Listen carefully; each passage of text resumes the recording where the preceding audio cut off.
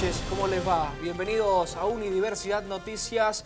Vamos a estarlos acompañando con la información hasta las 22 horas en el canal 30 de la televisión digital abierta, en el canal 22 en Supercanal HD y también todos los contenidos a lo largo de esta hora lo vas a poder encontrar en www.unidiversidad.com.ar. Hoy estoy, como siempre, con mi compañera Claudia. ¿Cómo estás? Buenas noches. Muy bien, muy buenas noches. Y bueno, tenemos muchísima información para compartir. Por supuesto, hay temas que uno tiene que priorizar y aquí los tenemos en este resumen de títulos.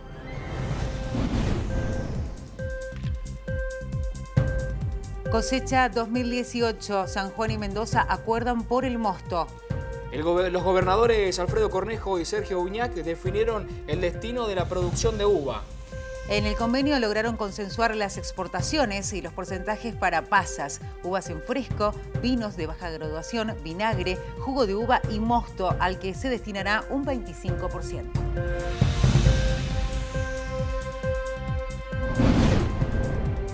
Los bancarios definen si van al paro. La próxima semana los bancarios realizarán asambleas informativas en bancos públicos y privados ante un nuevo fracaso de la negociación paritaria. Las asambleas se realizarán la semana próxima los días lunes, martes y miércoles y complicarían la atención al público. El PAMI definió un techo para el precio de los medicamentos. Después de varias semanas de negociación, PAMI llegó a un acuerdo con laboratorios internacionales por los precios de medicamentos. Resta arreglar con los laboratorios nacionales, en donde el contrato vence el 31 de marzo. Si esto se concreta, PAMI se ahorraría cerca de 7 mil millones de pesos anuales. Alerta por brote de sarampión en la región. La Organización Panamericana de la Salud lanzó una advertencia sobre la detección de casos en distintos países del continente americano. Ante este panorama, el Ministerio de la Nación eh, lanzó una alerta epidemiológica a fin de evitar la reintroducción del virus en Argentina. Argentina venció 2 a 0 a Italia en Manchester. Sin Messi en cancha y mirando el partido desde la tribuna, la selección consiguió una clara victoria contra la Zurra en el primero de los dos amistosos. Los goles fueron marcados por Ever Vanegas e Manuel Lanzini para sellar el triunfo y el martes se estarán enfrentando a España.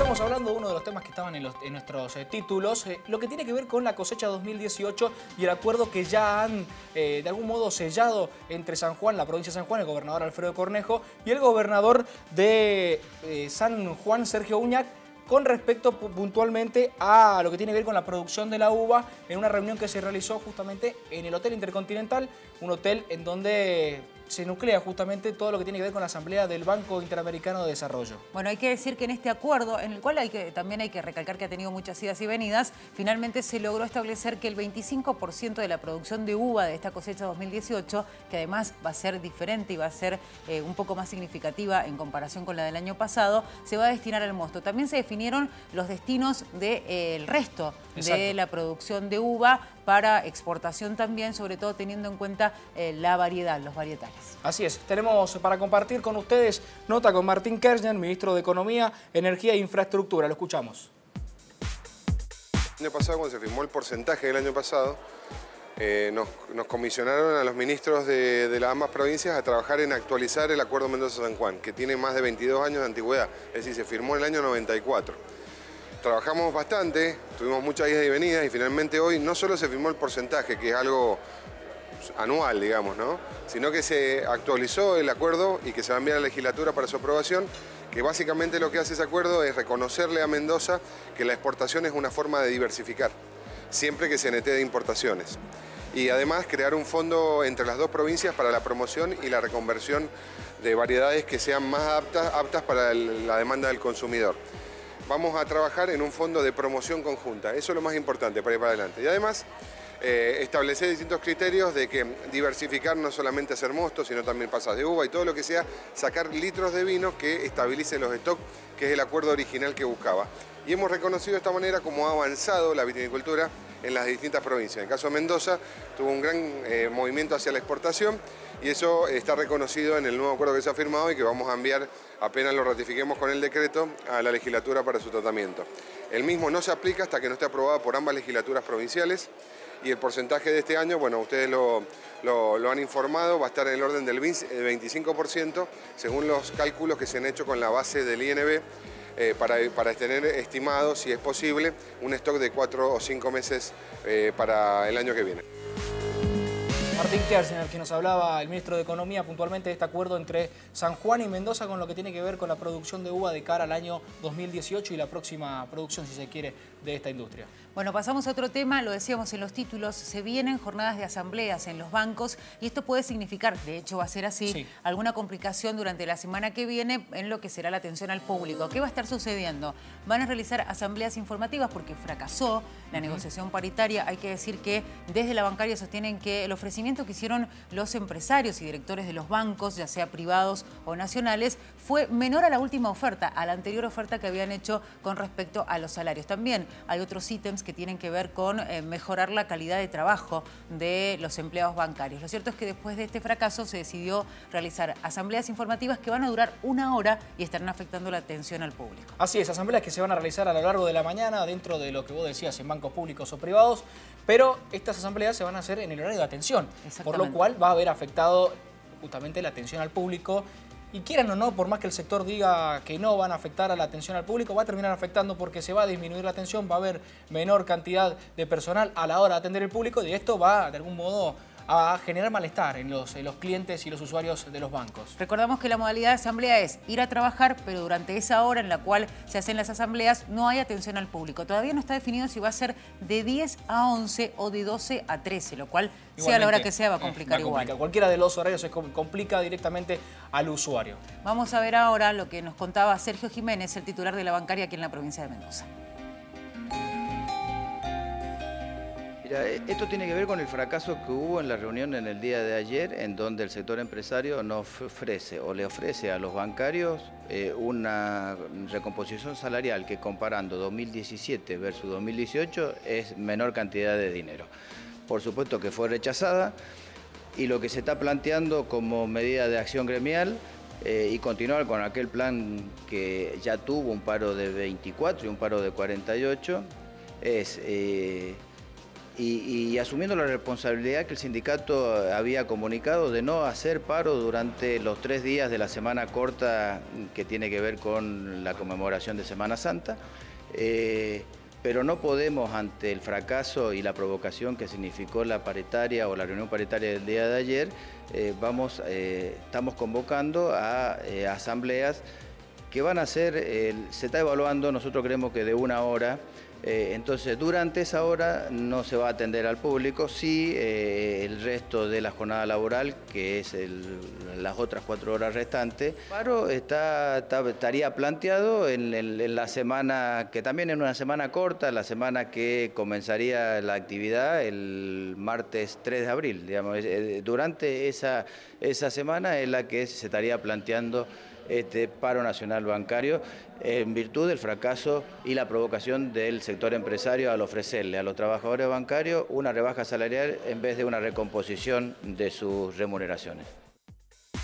Sergio Jiménez, el titular de la bancaria, que daba un panorama teniendo en cuenta que ya la próxima semana van a empezar a realizar, lo decíamos recién, asambleas tanto lunes, martes y miércoles, donde vamos a tener que tener cierto recaudo a la hora de hacer uso de los servicios de los bancos, tanto públicos como privados, porque por ahí se puede llegar a afectar a la atención al público. Paciencia sobre todo, ¿no? Y además Sergio Jiménez en algún momento cuando hace algunos días hablaban de que con eh, el inminente fin de semana largo, más el cobro a estatales, podían llegar a colapsarse los cajeros automáticos. Recordemos que el gobierno ha decidido pagar eh, los sueldos, depositar los sueldos de los estatales eh, en los primeros días de la semana próxima y ante esta situación el panorama no es el mejor igual, hay que decirlo. Así es que es importante tener este dato bien presente. ¿Y el dato puntual de que van a cargar los cajeros? el 28 el último día. El último día. Y después el 3 se volverían a cargar los cajeros automáticos eh, para brindarle, digamos, esa posibilidad a la gente que quiere sacar dinero. Igual tengamos en cuenta que hay otras opciones. Hay estaciones de servicio, farmacias y también supermercados que te ofrecen la opción. Ya en el último fin de semana también extra largo, como se le dice,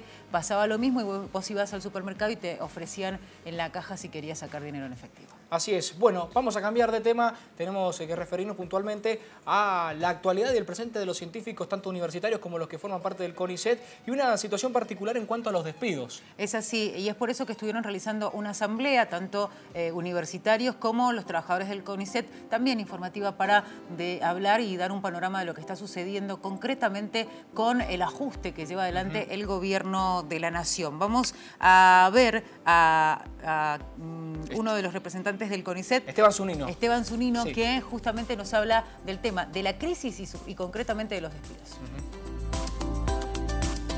Eh, y bueno, la idea es eh, empezar a debatir y también instalar a, nivel de la opinión pública eh, la gravedad de la situación que estamos viviendo, el ajuste presupuestario que nosotros venimos denunciando desde hace dos años eh, no para de, incrementarse y de dejar consecuencias. Prueba de ello son los 258 despidos en el INTI, eh, prueba de ello es eh, la reducción todos los años increíblemente mayor de ingresos en el CONICET.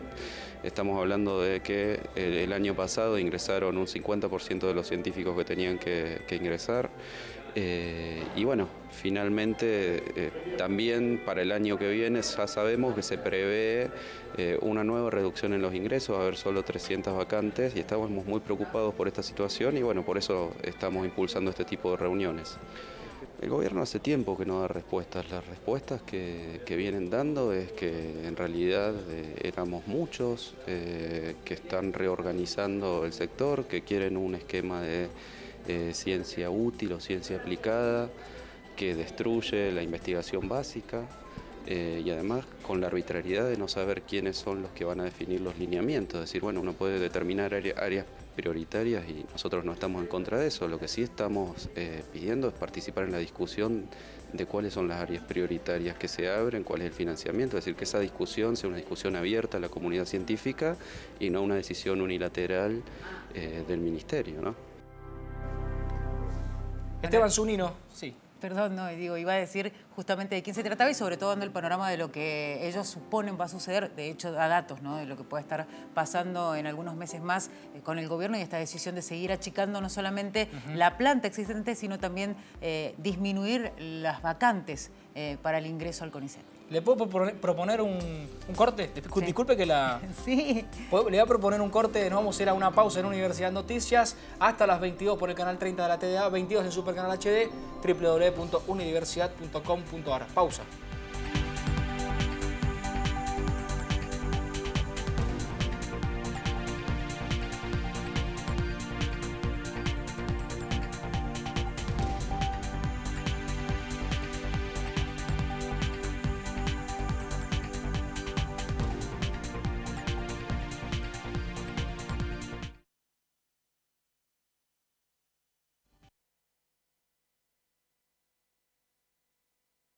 Hacemos? ¿La presentás vos a la Cami? Yo me paro acá. Y hago este recorrido. Ah, entonces... Fuera de cámara, de este lado. Ahí. Haces la presentación. El cuarto lo haces vos, solita. Sí, sí, sí. la misma metodología. Presentación y te vas caminando hasta llegar acá. Pero ponete así hacemos el encuadre con... A ver, ponete. va a seguir la cámara. Sí, porque tengo que marcar el encuadre. Abro ahí. Abrís ahí. 3, 2, 1, dale. Sí, segundo bloque de Universidad Noticias, como todos los días viernes, tenemos columna con las distintas noticias universitarias.